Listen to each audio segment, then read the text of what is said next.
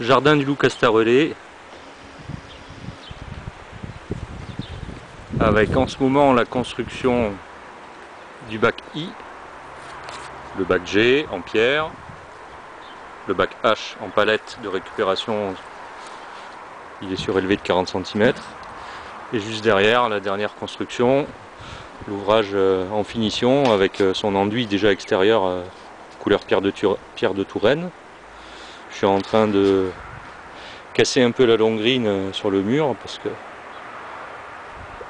elle est un peu gênante à certains endroits. J'ai décaissé, enlevé 50 cm en plus des deux rangs de moellons.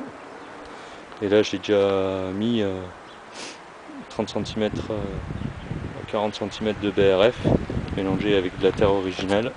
Par-dessus, on va mettre du compost, du BRF, de la terre originale aussi en mélange. Voilà.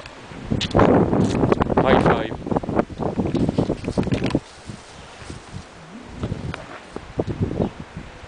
Les poivrons. Et des tomates marmandes dans les cloches euh, modulo 35 de chez Pouce Vert.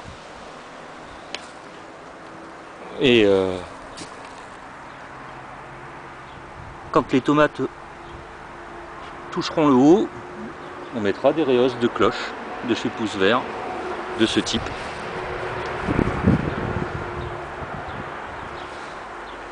Et ce sera reparti pour euh, deux semaines de pouce avant de mettre les tuteurs.